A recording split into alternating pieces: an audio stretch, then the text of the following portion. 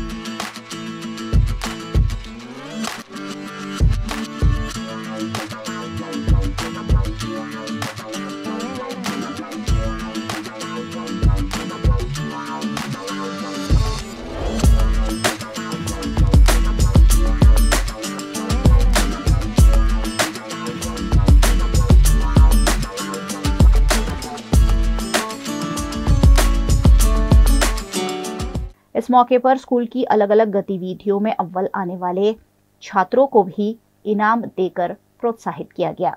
कार्यक्रम में स्कूल के प्रेसिडेंट सौमिल शाह, स्कूल के प्रिंसिपल और शिक्षकों की उपस्थिति रही।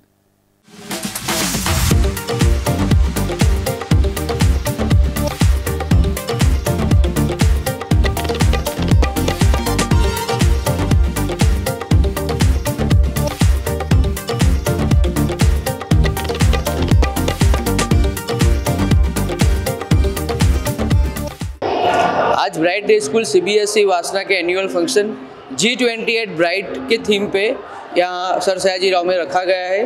पाँच से बारह तारीख, बारह क्लास के छात्रों ने अराउंड फाइव हंड्रेड स्टूडेंट ने जी ट्वेंटी की अलग अलग टॉपिक्स के ऊपर सब आइटम्स रजू करके एनुअल फ़ंक्शन की प्रस्तुति की है।